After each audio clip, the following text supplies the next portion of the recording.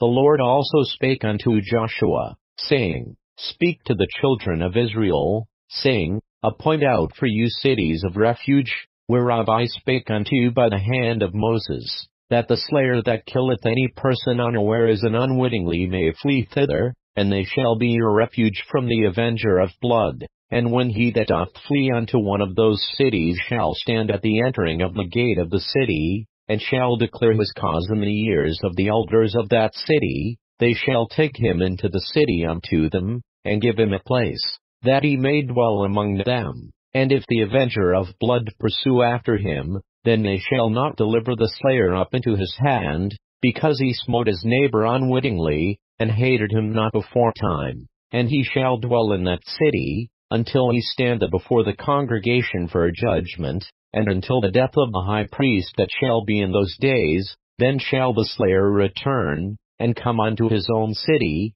and unto his own house, unto the city from whence he fled. And they appointed Kedesh in Galilee and Mount Naphtali, and Shechem in Mount Ephraim, and Kirjatharba, which is Hebron, in the mountain of Judah, and on the other side Jordan by Jericho eastward, they assigned Bezer in the wilderness upon the plain out of the tribe of Reuben, and Ramoth and Gilead out of the tribe of Gad, and Golan and Bashan out of the tribe of Manasseh. These were the cities appointed for all the children of Israel, and for the stranger that sojourneth among them, that whosoever killeth any person at unawares might flee thither, and not die by the hand of the avenger of blood, until he stood before the congregation.